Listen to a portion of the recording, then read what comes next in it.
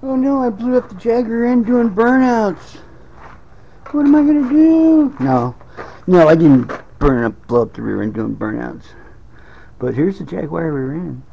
I'm putting new rotors on, brake rotors on. So you gotta drop the whole rear assembly. Have to change the brake rotors. Yep. It's fucking serious engineering, but you don't need no specialty tools to do it. It's fucking pretty cool. Yeah, you don't need any specialty tools. It's basically wrenches. But here's the old disc right here. See, look, it's got two steel plates on the outside of it. Hardened plates. 1973. And here's the ones I ordered, and yes, I measured. They are the same size. Or this one's just a wee bit fatter.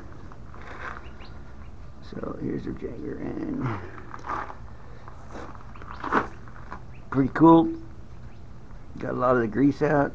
50 years worth of grease. So what I did, I purchased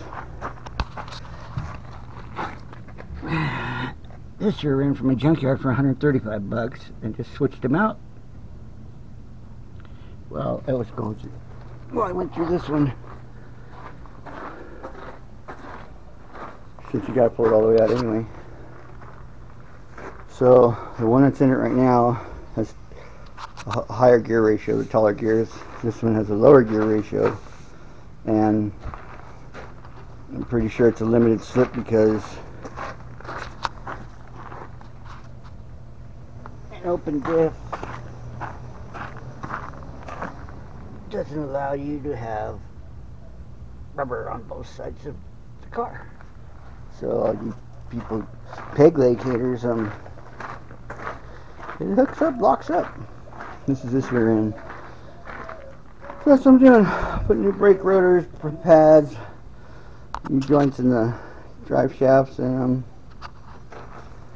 cleaning it all up, getting all the muck out of it.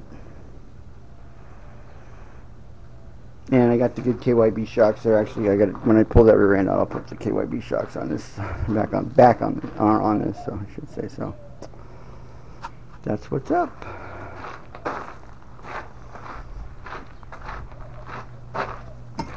In case everybody was wondering.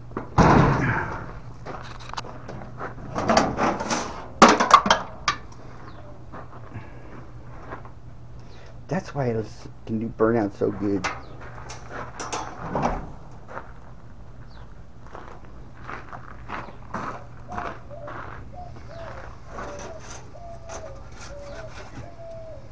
That's my secret to doing burnouts. All right, later.